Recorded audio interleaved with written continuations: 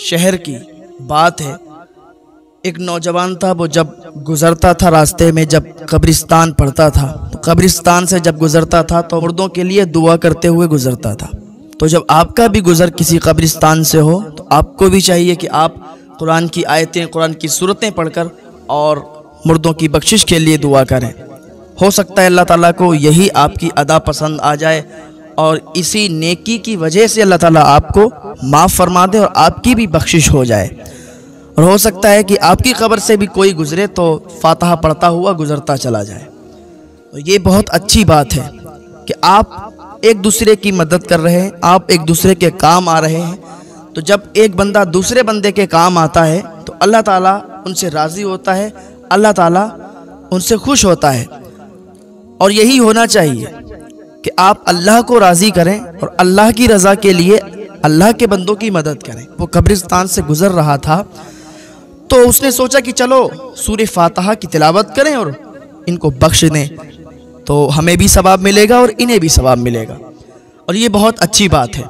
तो उसने एक कब्र के करीब वो गया और जाने के बाद जैसे ही उसने पढ़ना शुरू किया तो उसकी निगाह एक ऐसी कब्र पर गई कि उस कब्र के ऊपर सांप बैठा हुआ था।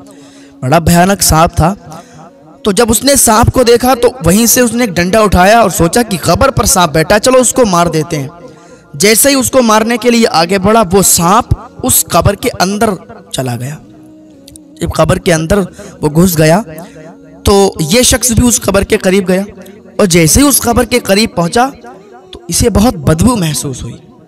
इसने कहा, यार, ये बदबू और इस कब्र के पास से आ रही है, ये बैठा बैठने के बाद इसने देखा कि सुराख भी वहीं पर था और सांप उसके अंदर चला गया कब्र के। इसने मिट्टी उठाई और मिट्टी उठाने के बाद मिट्टी को सूंघा। जब मिट्टी को सूंघा तो मिट्टी में बहुत बुरी बदबू आई। इसने मिट्टी को फेंका। इसने कहा, यार, ऐसा कैसे हो सकता है? इस मिट्टी में तो बहुत बुरी बदबू आ रही है। तो इसने वहीं पड़ोस वाली कब्र से मिट्टी उठाई, उसको सूंघा।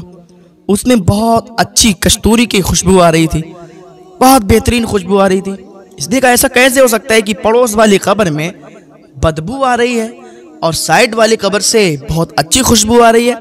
तो इसने वहाँ पर देखा, पत्थर पहले के ज़माने में लोग रख देते थे, उस पर सब लिख कर और लगा देते थे। आज भी कहीं कहीं कब्रिस्तान में आप देखो, मैं अक्सर गया हूँ, बरेली शरीफ में अक्सर कब्रिस्तान है कि जिसमें वो लोहे की टीन का या किसी चीज़ का ऐसा कुछ बना देते हैं, उसमें लिख देते हैं, मरने वाले का नाम, पता और तारीख वगैरह डाल देते हैं। तो पहले के ज़माने में पत्थर, उस पर सब लिख दिया करते थे कि कितनी इसकी उम्र है, कितनी उम्र में इसने इंतकाल किया और क्या नाम है, क्या पता है। उसने देखा पत्थर लगे हुए थे, उसी पत्थर पे उसका नाम, पता, एड्रेस सब लिखा हुआ था। उसको इसने पढ़ा, पड़ोस वाली खबर पर देखा कि ये किसकी है तो उसका भी नाम, पता, एड्रेस तो इसने देखा तो वो दोनों बहनें बहनें थी। एक की उम्र 25 साल थी, एक की उम्र 20 साल थी। अब इसने सोचा कि चलो, इसकी कहानी क्या है, इसके पीछे का रीज़न क्या है, कहानी क्या है, मालूम करने के लिए इनके घर चलना पड़ेगा। वो चल दिया, चलते चलते इन्हीं दो लड़कियों का गाँव आ गया। उसके अंदर उन्होंने जब तलाश किया तो वो घर आ गया कि लड़कियों का जो घर था, वो घर आ गया। दरवाज़ा खटखटाया टूटा फूटा घर था। दरवाज़ा खटखटाया, अंदर से एक बूढ़ी खातून निकल के आई। और उनके साथ कोई नहीं रहता था, वो बूढ़ी खातून थी। इसने पूछा, अम्मा, आप ही इस घर की मालकिन हो? कहा मैं ही हूँ? बताओ, क्या बात है? कहाँ से आए हो? कहा, अम्मा, ये बताओ, वो दोनों बेटियाँ आप ही की हैं? नाम बताया? कह रही ये तो मेरी बेटियाँ हैं, लेकिन इनका तो इंतकाल हो गया। इनके बारे में अब आप क्या पूछ रहे हो? क्यों पूछ रहे हो? और कहाँ से आए हो आप? तो उसने पूरा वाक्य बताया कि अम्मा, ऐसी बात है कि हम कब्र के पास खड़े होकर फातहा की तिलावत कर रहे थे सूर्य फातहा पढ़ रहे थे।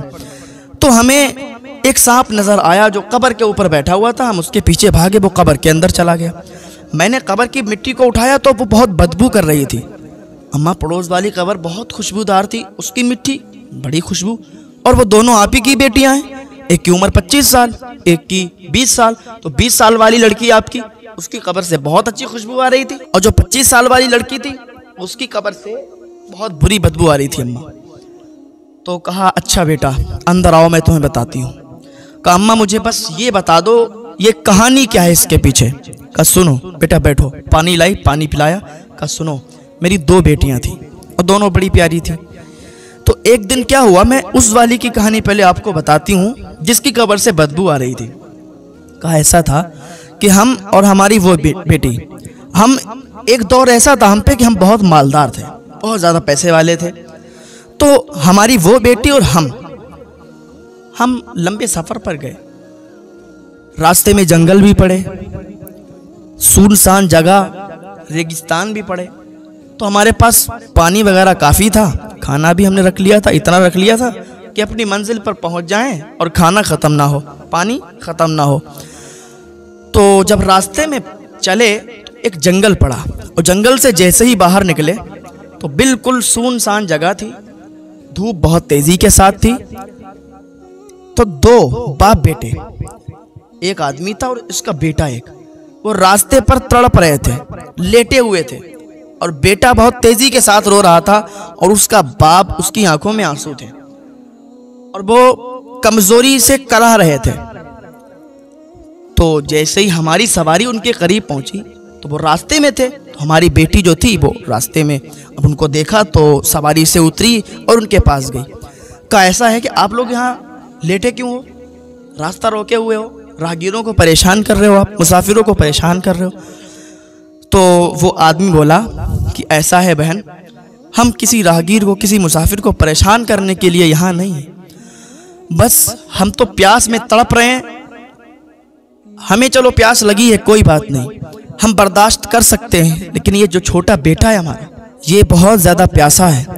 और इसके बहुत तेज़ी के साथ इसको भूख लगी है, प्यास भी लगी है। तो अल्लाह के वास्ते, अल्लाह के लिए, आप थोड़ा सा पानी मेरे बेटे को पिला दो। थोड़ा सा पानी अगर मेरा बेटा पी लेगा तो वो अभी रो रहा है। अभी उसको भूख की शिद्दत है, प्यास की शिद्दत है। जैसे उसके हलक में पानी जाएगा तो उसकी जान बच जाएगी। और फिर मैं यहाँ से उसको लेकर चला जाऊँगा। क्योंकि पता नहीं अभी कितना लंबा सफ़र है। थोड़ा सा पानी मुझे दे दो और थोड़ा सा पानी मेरे बेटे को दे दो और तुम्हारे पास पानी की कमी नहीं है। लेकिन हम प्यासे तड़प रहे हैं। अगर मेरी इतनी आप हेल्प, मदद कर दें तो अल्लाह की बारगाह में हम आपके लिए बहुत दुआएँ करेंगे। उस लड़की ने कहा, वो बूढ़ी कहने लगी, मेरी बेटी ने उसको धक्का दिया और उसके बेटे को साइड किया और सवारी पर बैठी और आगे बढ़ गई। मैंने उसको लाख कोशिश की, मनाने की, बेटी तड़प रहे हैं, इनको प्यास लगी है। और अल्लाह ताला उस बंदे को बहुत ज़्यादा पसंद करता है कि जो अल्लाह के बंदों की मदद करता है। और इस टाइम ये प्यासे हैं बेचारे। तड़प रहे मर जाएँगे। उनको पानी दे दो। मेरी बेटी ने मेरी बात नहीं मानी और चल दी कहा, नहीं देंगे। क्योंकि उसको पैसों का घमंड था तकबर था, बहुत ज़्यादा। उसने पानी नहीं दिया। हम अपनी मंजिल पर पहुँच गए। यहाँ तक कि जब वापस आए तो क्या देखा? वो दोनों बाप बेटे मर गए थे। मर चुके थे। क्योंकि इधर से जब हम जा रहे थे, वो तड़प रहे थे। अगर दो घूट उनको पानी मिल जाता तो उनकी ज़िंदगी बच जाती। मेरी बेटी ने उनको मार दिया। मेरी बेटी ने उनको पानी नहीं दिया। लेकिन मेरी बेटी तो इतनी मनहूस थी कि इसकी वजह से वो दोनों बाप बेटे मर गए। लेकिन इसको कोई पछतावा नहीं हुआ। कोई पछतावा नहीं हुआ, बल्कि और खुश हो गई। कि देखो, मेरे पैसे और मेरी दौलत और मेरा पानी मैंने इसको नहीं दिया इसकी डेथ हो गई, मर गए दोनों। अगर हम इनको पानी देते थे तो इनकी जान बच जाती। बड़ा फ़ख्र से कह रही थी, बड़ी खुश थी। बेटा, मुझे लगता है कि ये उसी वजह से उसकी कबर बदबूदार है, उसकी कबर में अजाब हो रहा है, और इसका सूद का काम था। सूद खाती थी, हराम कमाई कमाती थी। और गरीबों पर बड़ा अत्याचार करती थी। मेरे भाइयों, अगर आपके दरवाजे पर कोई गरीब सवाल आके करे तो उसको थोड़ा बहुत आटा, चावल या थोड़े बहुत पैसे देने से इनकार मत करना। ये मत कहना कि मेरे घर नहीं है। हो सकता है कि अल्लाह ताला ने आपका इम्तिहान लेने के लिए अपने किसी फरिश्ते को भेजा है। हो सकता है अल्लाह ताला कौन सी आजमाइश में आपको डाल रहा है और आपका इम्तिहान ले रहा है। तो कभी भी ये मत कहना कि हमारे घर नहीं है। अगर आप नहीं दे सकते तो उससे ये कह देना कि भाई, आप आगे देख लीजिए, हम आपको नहीं देंगे, नहीं दे सकते। ये मत कहना कि हमारे घर है नहीं, क्योंकि अल्लाह ताला बहुत नाराज़ होता है। और दे देने में कोई इंसान की दौलत घट नहीं जाती। अगर सौ फ़कीर, सौ मिसकीन आपके दरवाजे पर आए और आप उन सौ को दे दें तो आपका माल घटेगा नहीं बल्कि अल्लाह ताला उसमें और बरकत अता फरमा देगा। आपको पता भी नहीं चलेगा कि हमारे यहाँ आ कहाँ से रहा है। हाँ हाँ भाई ये बात हकीकत है। हाँ, तो वो कहती इसी वजह से उसकी कब्र में वो अजाब है और इसकी जो कबर की मिट्टी है बदबूदार इसी वजह से है क्योंकि एक दूसरे की खीबत चुगली और सूद का कारोबार करती थी और गरीबों को बहुत सताया करती थी। फिर बात यहीं तक ख़त्म नहीं हुई बेटा। वो बूढ़ी कहने लगी बेटा बात यहीं तक ख़त्म नहीं हुई। अब ये वापस घर पर आई। घर पर आने के बाद इसकी छोटी जो बहन थी, बहुत खुश हो गई कि अम्मा और बहन वापस आ गई हैं। तो जैसे ही अंदर ये दाखिल हुई तो मेरी छोटी बेटी से कहने लगी कि देख, आज मैंने कितना बड़ा काम किया। तो मेरी बेटी बोली, क्या काम किया? कहा, मैंने एक प्यासे इंसान को पानी नहीं दिया। मैंने एक प्यासे बेटे को पानी नहीं दिया प्यासे बाप को पानी नहीं दिया और तड़प तड़प कर वो मर गए। और हंस रही थी। और तालियाँ बजा के फख्र के साथ ये अपनी गुरूर और घमंड में कह रही थी, छोटी बेटी ने जब इतना सुना, सर पकड़कर बैठ गई, कहा, तुझ पर लानत हो, तू कैसी है?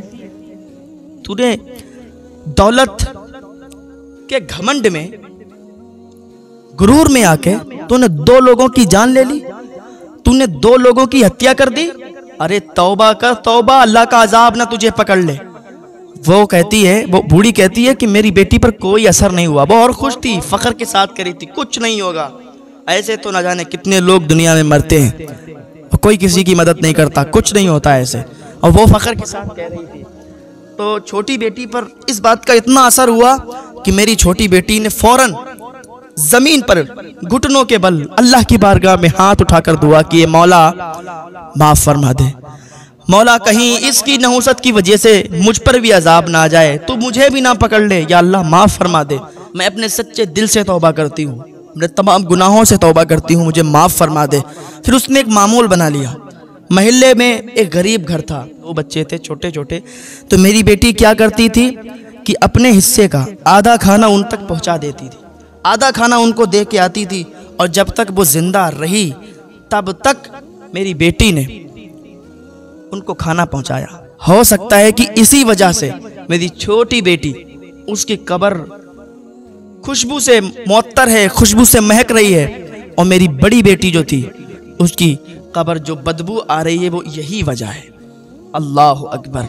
देखा आपने कि अगर आप किसी की मदद करते हैं तो अल्लाह ताला कितना खुश होता है आपसे कितना राज़ी होता है।